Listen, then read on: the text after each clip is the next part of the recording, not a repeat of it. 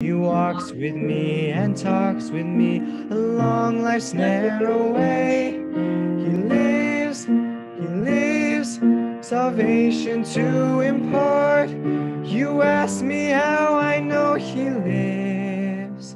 He lives within my heart.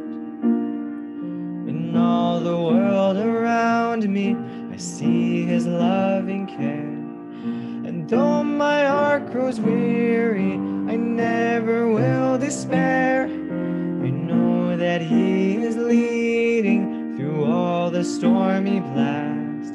The day of his appearing will come at last. He lives, he lives, Christ Jesus lives today. He walks with me and talks with me along life's narrow way.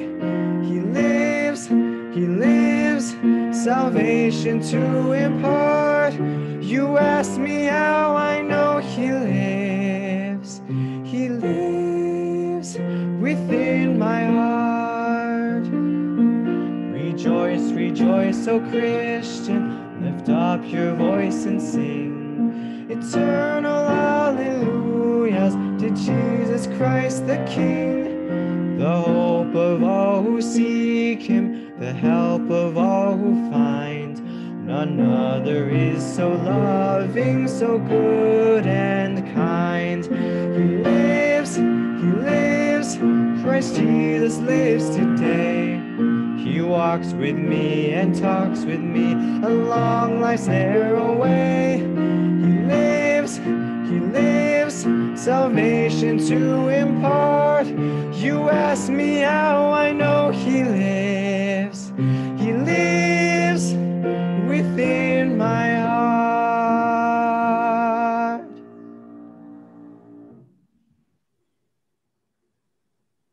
Take yourself off mute, and Billy has our scripture for today. Thank you, Billy.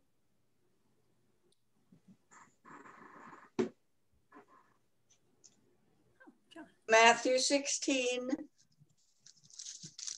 verse 5. When the disciples reached the other side, they had forgotten to bring any bread. Jesus said to them, Watch out and beware the yeast of the Pharisees and the Sadducees. They said to one another, It is because because we have brought no bread. And becoming aware of it, Jesus said, For a little faith, why are you talking about having no bread? Do you not perceive? Do you not remember the five loaves for the 5,000 and how many baskets you gathered? Or this seven loaves and for the 4,000 and how many baskets you gathered? How could you fail to perceive that I was not speaking about bread? Beware of the yeast of the Pharisees and the Sadducees. Then they understood that he had not told them to beware of the yeast of bread, but of the teaching of the Pharisees and the Sadducees.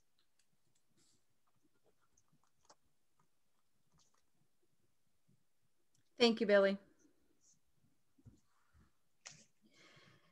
Beware of the yeast of the Pharisees and the Sadducees. What actually does that mean? Well, we're going to get into a bit of that during the message, but right now it's the reference of nourishment, it's the reference of trusting and believing that you will be fed.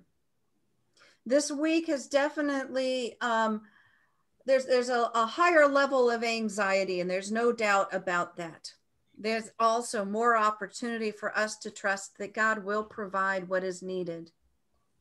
And today for reflection, were we able to get those questions up, Eric or uh, Justin? I'm going to light this candle as our candle of intention for this week to hear what we need to hear, as comfortable as uncomfortable it might be. This candle of intention to listening.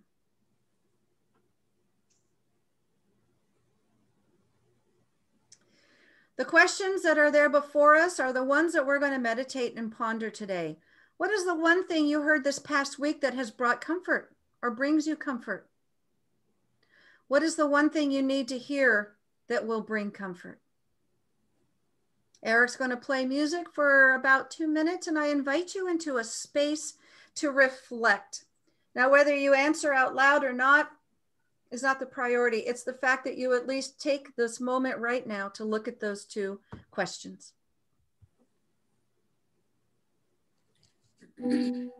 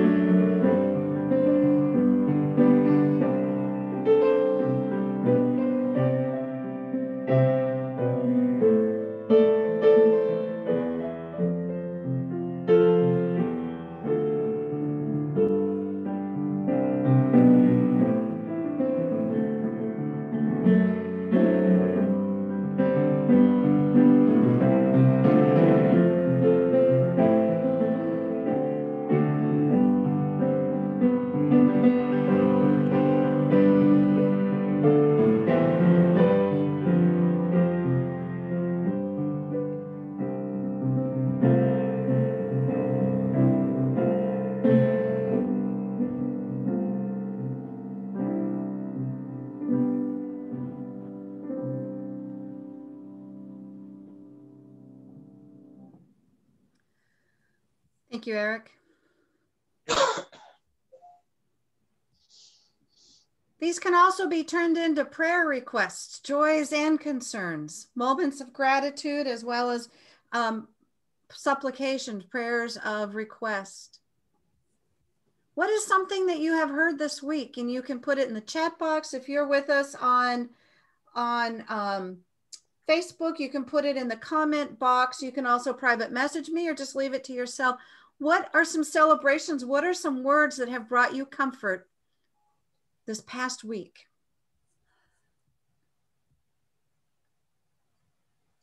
Christy, I had uh, friends who managed to get their um, COVID uh, inoculation. Amen. That is good news. I saw a wonderful documentary on Martin Luther King Jr. and how he talked about achieving what they needed to achieve peacefully and in a loving way. And I thought, oh, how those words fit today. Absolutely. Thank you, Billy.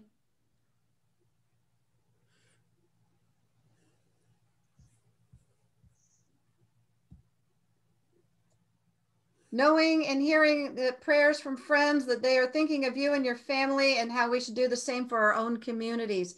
Definitely, Stacy, that is good news. Those are good words. Those do bring comfort.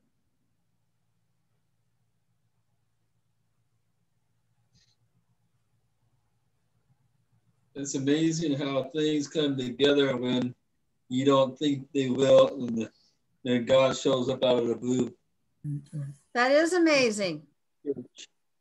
Definitely. God showing up without us having to schedule an appointment and say, Can you show up and do something here? Mm-hmm. That does, that brings comfort that God shows up when we least expect it. Well, some can argue that you should always expect God to show up. Especially when it comes time to moving. yes.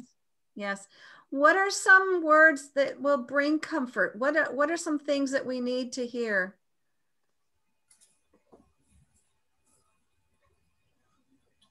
The, the temp okay, Teresa's sharing that her temporary job is going to last longer. Those are good words to hear. Yes. That something that's happening that was supposed to end is going to take a little bit long, going to last a little longer. That's good. What are some words that we need to hear this week to bring comfort? God has control of us all. Okay, that God is in control. Is that enough for some, or do we need to hear more? Some people are looking for need to hear when they will be able to get the vaccine.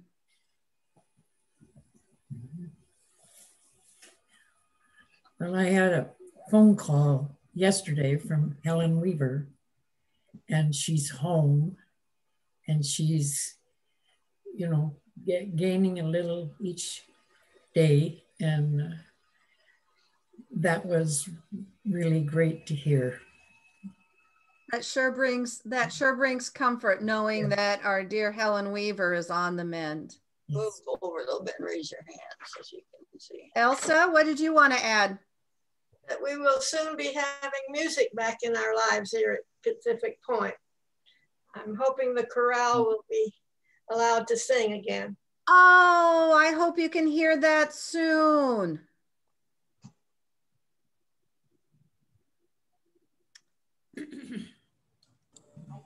Christy, oh, there you go. Okay. No idea what happened there, Justin. Thank you. Definitely. Okay. Well, I think it's important to um, say that a lot of us uh, need to hear that um, need need to hear that things will go peaceful. There's no doubt about that. Yes. There's no doubt about that. Speaking of what, what's that? Speaking of what she was talking about with music, I I got a chance to hang out with some guys from church a bunch of young guys, and we just hung around and played guitar for about an hour, and talk, listened and talked about God with each other. You know. That is wonderful. It does bring great comfort, and I hope you can do that again. We did Mother Mary. Did you know we did that song? Awesome. We're going to focus again on our second hymn called Because He Lives. This is what will get us through the toughest of times.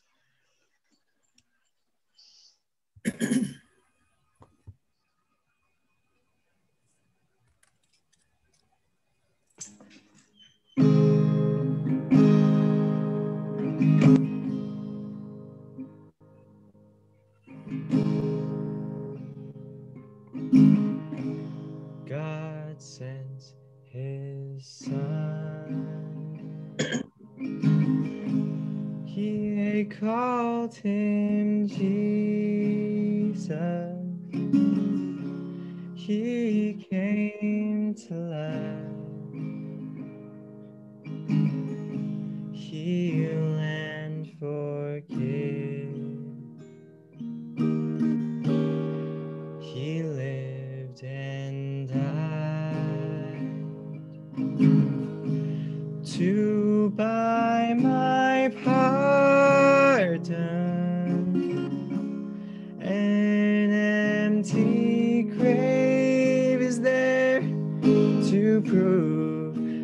Savior lives because he lives.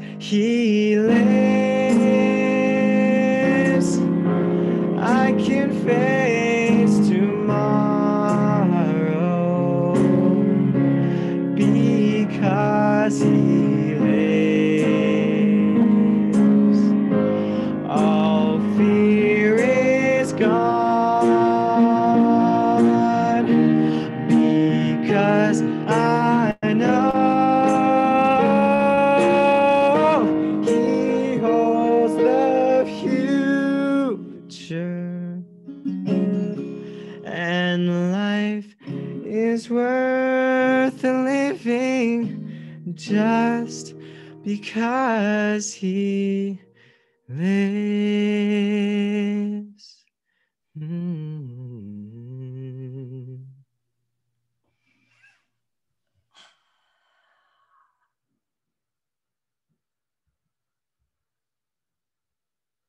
Wow.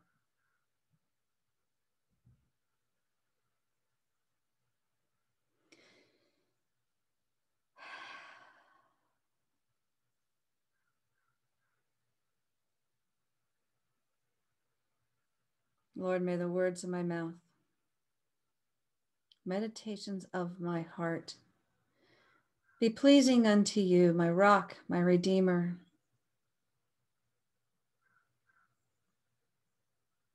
As we keep that sweet taste in our mouth, those last line of, we know this because he lives. Let us not rush away from that. May our hearts, our minds embrace what it is you have us here, and may we continue to thirst for that knowledge that He lives and be quenched with faith and hope. Amen. I honestly don't feel like preaching. I, I think that just says it right there.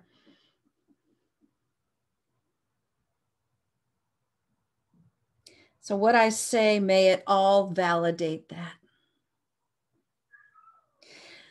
There's a Sufi phrase words that come from the heart will enter the heart, but words that come from the tongue will not pass beyond the ears.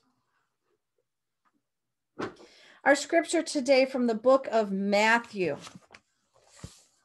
is talks a lot about when people are stuck in their head and they're just they're, they're talking details, not the purpose. As Billy had read, the Pharisees and the Sadducees were present. And, and the little bit of the backstory is they're pressing Jesus for a sign it's the, the Pharisees and the Sadducees were well meaning people who were so wrapped up in the law, the teachings of the law, and upholding the law that they forgot about the human part. They forgot about ah, just being present and, and living. They were so concerned and there was this this threat of power because here is jesus coming into town. And you know what? Jesus was kind of a rebel rouser. Jesus grew up hebrew and knew what the laws were knew the traditions. And he didn't he he didn't forsake the laws and say they're a bunch of bunk. He was like these are to help provide the framework not the constraints and Jesus wanted us to be alive with this, to, to enjoy life, not spend our entire life being so concerned about whether we're doing it right or wrong. I can only imagine the level of anxiety that was that was present in in the culture of a, of a Pharisee and in their household and and how they all um, felt about this. We're looking at the danger of a single story. And during Sunday school, we looked at Hosea. And if you had only read the first chapter of the book of Hosea and let that single story determine how the rest of the book went, or let that single story determine how the entire Bible is and our view of God, um, I know I would not have picked the Bible up again but there is there's stuff before it and after it. And folks that's where we get to enter our our realities into into the timeline of humanity right now. And how do we do that when we're concerned? There folks that if if we're not concerned about the potential for the unrest if we are not concerned that not everybody is pleased with how the elections have turned out and how things have been reported and how things have gone down, then we're either um, choosing to just stay in prayer, hunker down, and pray through it all, or we're not aware that we're we're at the like a, a, a moment where um, a lot of feelings are exposed, a lot of nerves are exposed right now, and we're seeing people react and res- through 12 they're thinking with their heads. They're like hey wait where's the bread? We don't have enough to eat. We can't feed everybody. We don't have enough. And and this this isn't going to work out. And jesus is like you remember something about the loaves and fishes? We had and he did it on more than one occasion where there were several thousand people hungry. And the disciples wanted to say, let's send them home, let them eat, rest, and then come back and then we'll teach. Jesus is like, no, we're going to see, we're going to see the ultimate in a church potluck because we're going to, what do we got here? What do we got? Let's take what we got and make the most of it. And if you're, depending on where you enter that story, if you're heading if you're entering it with your head how can you take five loaves of bread and two fish and make a tuna fish sandwich for every single person here? Now it wasn't just 4000 or 5000 because those were just the men that were counted. Folks this the danger of a single story is reading just the words that are there and not going a little further not understanding that the numbers 4,000 or 5,000 just represented the men. It didn't include their wives, their children, any of their household servants that came with them. We're talking in probably 25, 30,000 people that were fed with this. And if they were fed with just a small amount of bread and fish, and everybody was not only fed, folks, there were leftovers. How can we then forget that Christ will do that again and again and again. Because he lives because that keeps going it's that friendship bread starter it's the sourdough starter that just continues. And we as believers our job is to continue sharing that.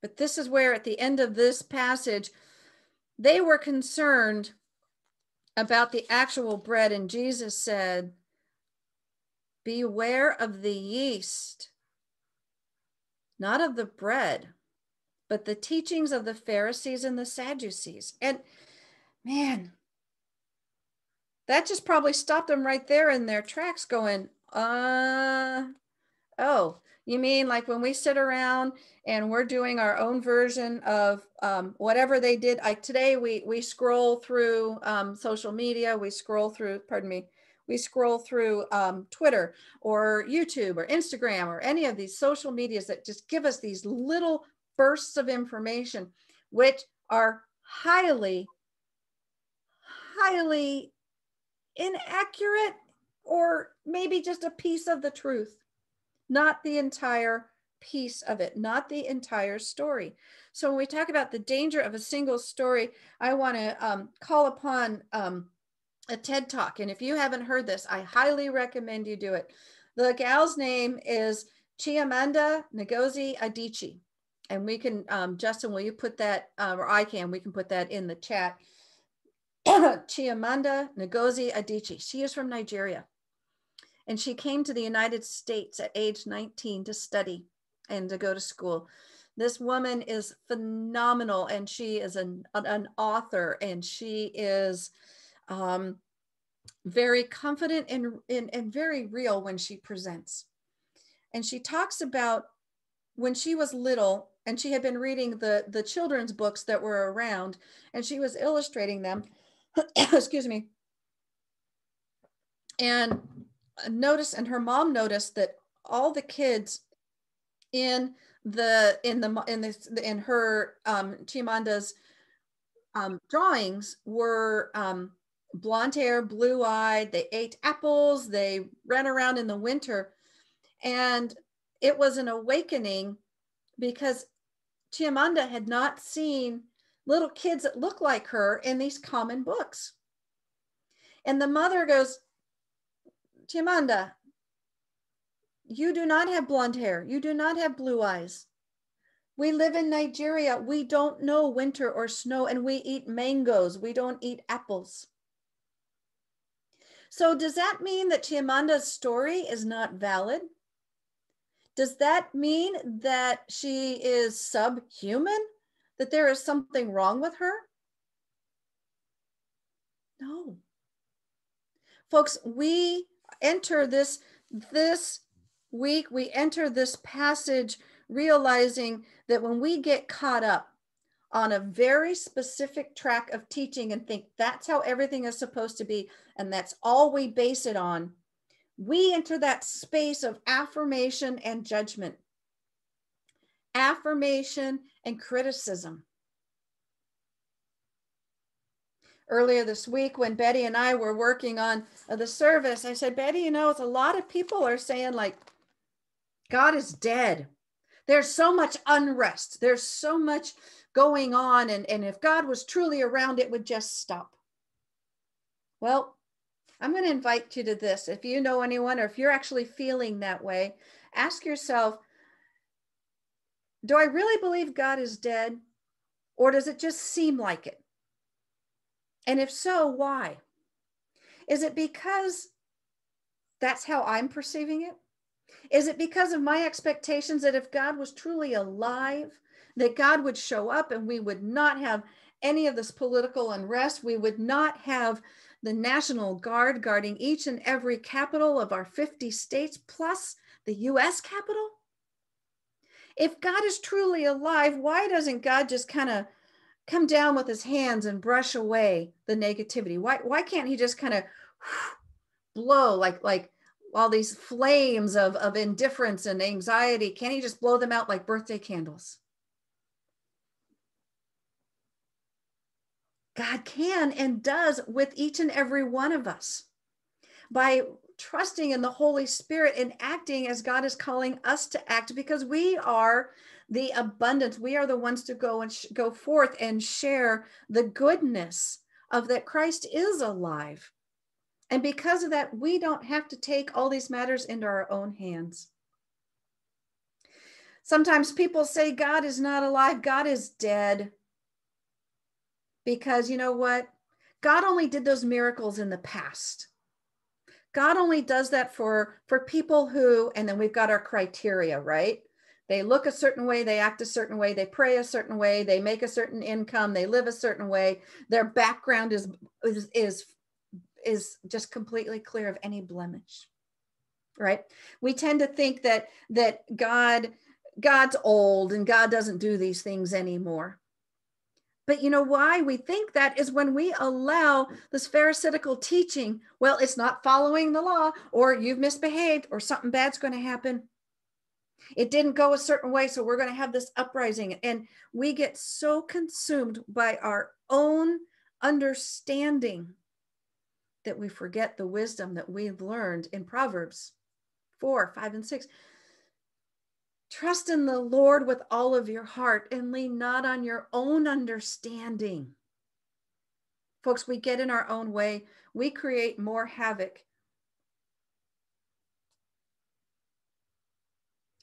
We learned a big word in Bible study this week theodicy. And it really boils down to taking stuff on our own and it ties into what we're really experiencing now is a lot of people are feeling threatened. And i will say that is a valid feeling. It's what you do with that feeling where we run into problems folks. If someone is truly feeling called to charge into a space that is reserved for freedom and democracy and to do damage and to disrupt, that is not the healthiest way. That is not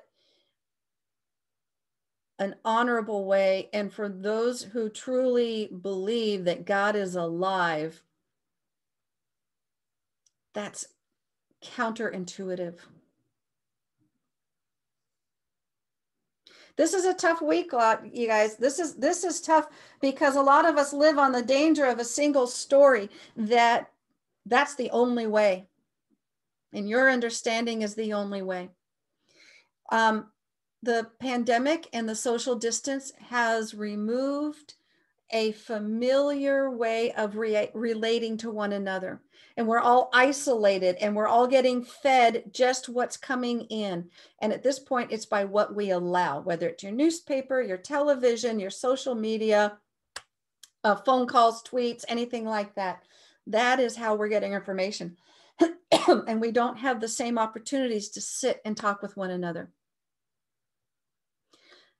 And when you sit in that and you're only being faced with that bombardment of stuff, it can be real dangerous. Now, we've been talking about on the big national level, folks. I also want to remind you that this is what happens every single day for a lot of people in their own minds and their own hearts. They think they aren't good enough. They're believing and they are falling for the, the yeast of the of the Pharisees who say, well, you have failed this. You aren't good enough. You don't have um, the best wardrobe. You don't have the best income. Your house is a mess. Uh, you fail. You should be ashamed. Blah blah blah blah blah. Folks, there are these battles going on in our minds and in our hearts, if not ours, of our neighbors, of our people that we love. And our job, our invitation, our opportunity is to reach out. Folks, relationships are what? The most important thing. And what matters is from this moment forward. And I invite you as we enter into these next several days, kind of on pins and needles, that we remember that God is alive. And you might be feeling called to take a stand for justice, take a stand for mercy, take a stand like Martin Luther King did, and try and solve problems with peace. Because it, has not worked with violence over and over and over again, stories over and over again, thousands of years. Violence does not bring peace. It's when people stand up against the violence that peace happens. I asked Eric to play and sing a Rich Mullins song called If I Stand. And I'm going to invite him to do that right now.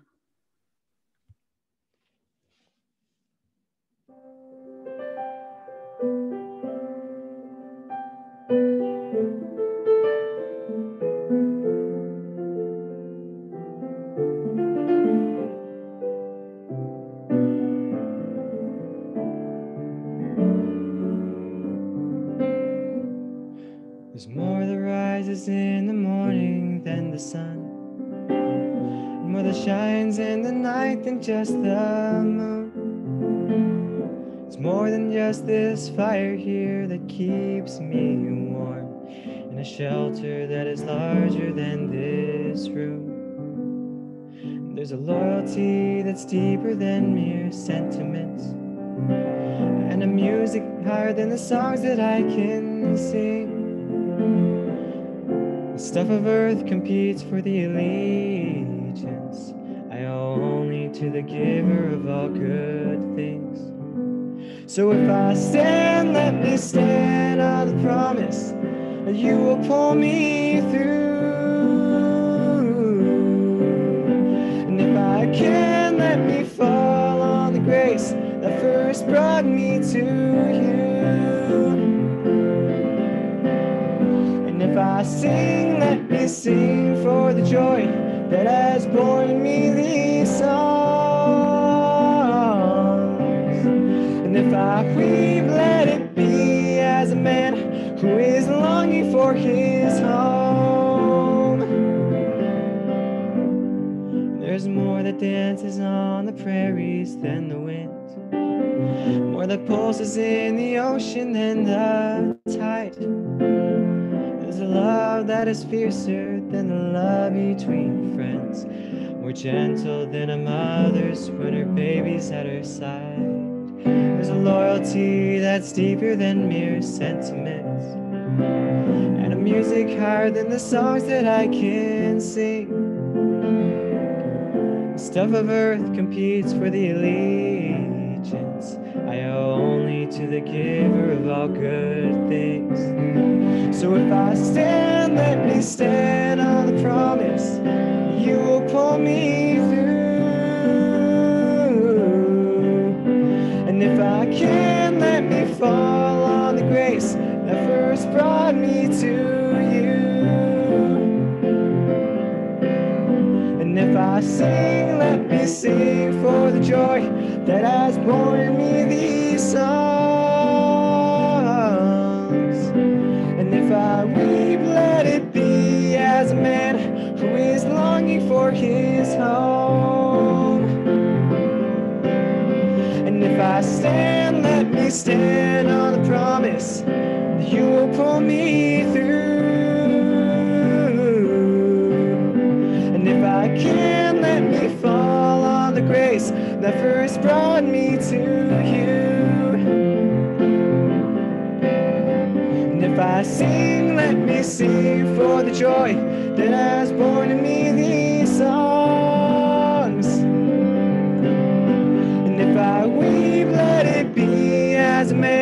who is longing for his home.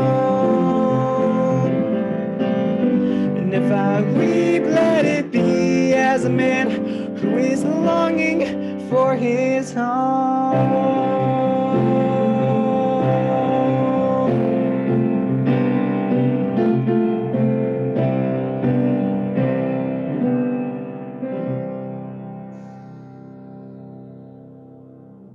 Amen. May we go forth from that message that if you stand for something, may you be standing for the fidelity of your relationship with Christ and God and the covenant rather than sacrifices. May we all join this living timeline of saints who have endured. Many of you right here could write books that are, are that, that, that are worthy, that that are comparable to the ones that were written down of people in back in the Bible times. Your story matters. And there are dimensions to your story that matter. Amen. We started with several prayer requests when we were sharing earlier in this service. And I invite you, are there any joys or concerns we'd like to add at this point?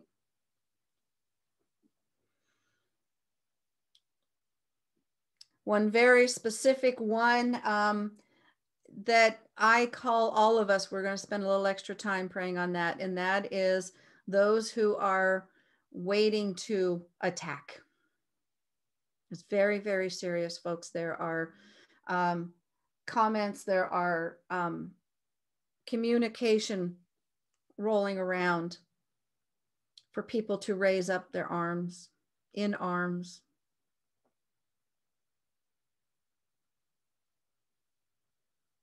Do you have any other prayer requests we want to make sure we touch on?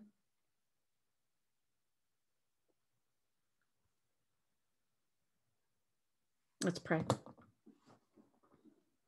God, we come to you on a day that I pray ultimately passes by where the most exciting news is whether or not someone's football team won or lost. Are we going to see a historic season for the Browns? Are we going to spend um, a weekend, an MLK weekend, where normally people have taken a three day weekend, where I would be at snow camp with the youth group right now? And are we going to take it for some time of rest and transition for those who are um, in high school that are about to take finals? For those who are um, looking forward to a day off of rest before whatever else happens with work? Lord, we, we come and, and bring our prayers for teachers and students and admin and faculty who might be returning to in person school here in the next week or two. And all the fears that are still being faced around whether or not it is safe? And does that outweigh our concerns and our very real um, interest in what this isolation is doing for the mental health and the emotional health of our students? And, and Lord, when we get so focused on, oh no, our kids are falling behind, may we pause and remember what they're falling behind is what we were familiar with. And what they are gaining is endurance. What they're gaining is practical skills on how to get through a pandemic. And lord may we all pause and not beat ourselves up for not being how it was when when that's not how things are right now. Things are as they are and may we truly be present lord and remember you are here with us and you're going through all of this with us Lord, may remember we can turn to you and lift up prayers. Some that have come out through this week for Lori's brother in law, Jeff, whose health has taken a decline again. Lord, we come to you with joys for Earl and Kay and their move and the team who came alongside them, and how Josh was able to bless this dwelling, for it will be a place they shall live for quite some time as they continue to build their relationship. We'll lift up prayers for Chris Durst, who's had cataract surgery this week. Prayers for Joanne that things keep heading in a better direction. Prayers for Helen, who is now at home, and may she continue to mend and be able to stay at home. And Lord, we pray for those who have lost their lives to COVID this week, those who have been diagnosed and are trying to figure out how to live with it, those who are struggling with it, whether it's a mild asymptomatic case or they're moments away from their last breath, Lord, we pray that your healing comes. Lord, we pray for those who are in the National Guards and other local law enforcements who are on high alert right now for what could happen. And most of all, Lord, we pray for those who in their hearts feel that being um, destructive has a purpose. Lord, we pray for all those people that are in the background of making this inauguration happen, those from everything from transportation and catering and lights and sound and all those things we tend to take for granted, Lord, who are truly trying to do something historic in a historic situation. And Lord, we pray for, pray for a peaceful transfer of power. And may the office be respected may the reminder of of what that office calls one to do is respected. And lord for those who are really struggling knowing where their next meal is coming from where they're whether or not they will be able to continue living where they're living lord it's those situations where we show up where humanity reminds us that we have control of something Lord, we also want to lift up the teachings that come from wise voices in the past, as well as wise voices of today. And may we go forth with peace. May we go forth with an attitude of standing up to unrest and inviting people in to peaceful conversations and acknowledging their fears. It's very, very real. This fear and the anxiety but Lord, it's how we address it. May we not brush it off and minimize it, rather, speak into it. And Lord, when we aren't sure what to say or how to show up, may we remember the prayer that your Son taught us, saying, Our Father, who art in heaven, hallowed be thy name. Thy kingdom come, thy will be done, on earth as it is in heaven. Give us this day our daily bread and forgive us our trespasses, as we forgive those who trespass against us. And lead us not into temptation, but deliver us from evil. For thine is the kingdom, and the power, and the glory forever. Amen. Evil takes all sorts of forms, and it doesn't necessarily show up as a devil with horns and the pitchfork. Evil shows up when we tend to ignore opportunities. Evil shows up when we choose laziness over engagement. Now, I want to say there's a difference here because there's something called mindless rest, which is good for the body and the soul when we allow ourselves to not feel busy at every moment. And in fact, evil comes in when we feel that we have to be doing something, there's always something to be done. Evil can come in when we turn to the refrigerator or the cupboard for comfort instead of a glass of water, instead of walking around the block or walking around our, our room or wherever we're at.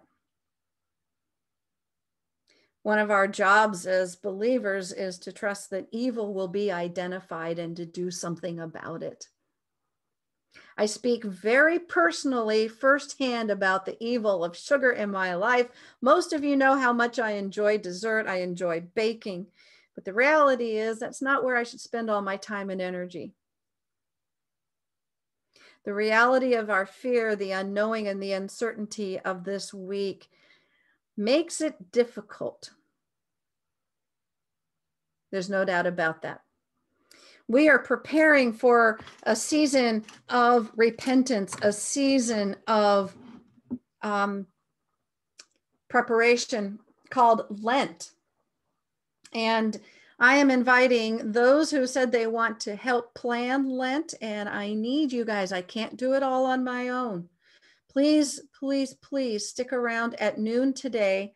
We're going to um, We'll finish worship, we'll have some coffee hour, and then at noon today, we're coming back on this link and we're going to talk about Lent. And I want to hear what what you need to what, what God is calling and putting on your heart to be part of this planning.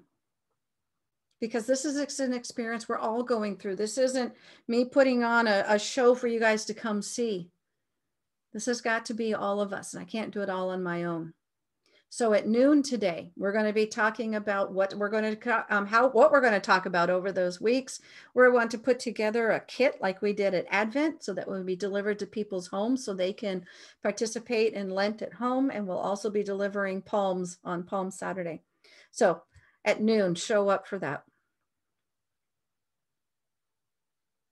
we asked you to continue to be faithful and not let the um, the evils of concern, the evils of hesitation keep you from being faithful in your worship through giving. Now, a lot of folks have mentioned that the fact that the offering plate isn't the brass plate going down the aisle makes it difficult to give like you normally do. Folks, you can still give. You can give online if you click that link right there. It leads you to a portal. You can sign up and you can donate right then and there. It is very, very easy. If you have questions, send us a message. We'll help you walk through it. Or you can send a check directly to the church. And if you're concerned about whether or not the mailbox is safe, the mailbox gets checked on a regular basis. Stuff gets brought in and put in the safe. And if you're still concerned about how to do it, set up a payment through your church, I mean, through your bank. Set up an automatic payment. Folks, we need you to show that you're still in the game and still committed and connected through this act of worship. The amount, that's not what I'm concerned about, but it's your faithfulness and your trust in God that you have a fraction to give back to be the hands and feet in the community and the world around you. Again, if you have any questions about how to give and the safety of it, message us. We'll talk you through it. As we get ready to round up our time today, we get ready for our final verse, our final song. I asked Eric to play this one in particular because honestly, when I woke up Monday, which is normally a day off, God said, No, no, today we're going to do a lot of work. As this song came on, and it will be um, unfamiliarly familiar in the way that it's brought about. But, folks, all week long, a reminder that God is not dead, God is alive, that God is alive. Eric?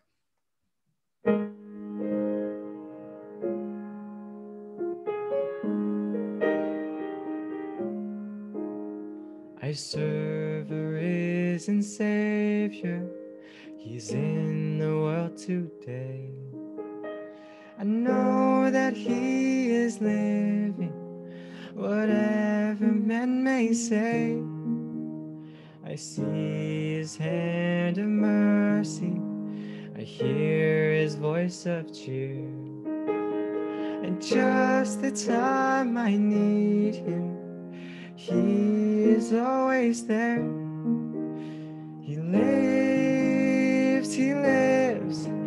Christ Jesus lives today. He walks with me and talks with me along life's narrow way. He lives, He lives. Salvation to impart. You ask me how I know he lives. He lives within my heart.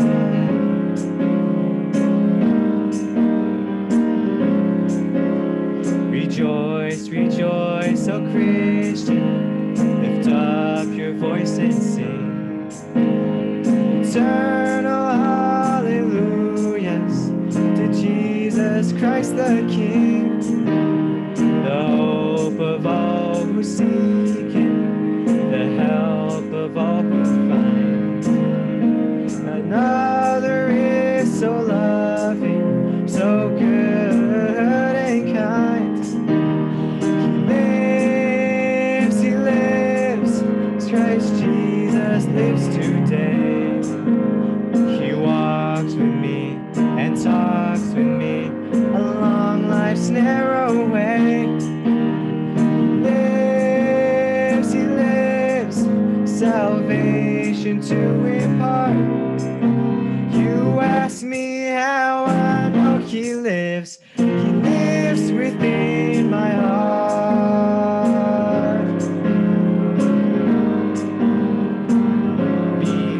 lives, I can face tomorrow. Because he lives, all fear is gone. Because I know he holds the future. And life is worth the living just because he Because he lives, I can face tomorrow.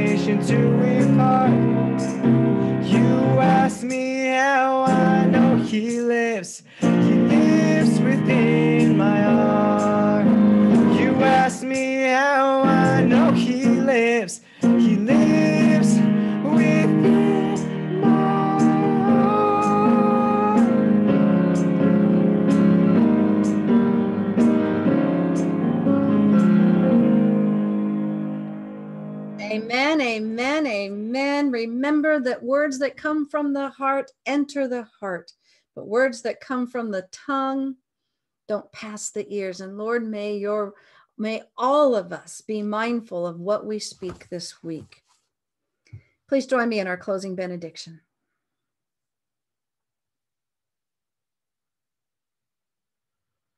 Do not be dismayed by the brokenness of the world. All things break and all things can be mended. Not with time, as they say, but with intention. So go, love intentionally, extravagantly, unconditionally. The broken world waits in darkness for the light that is you. Amen. Amen.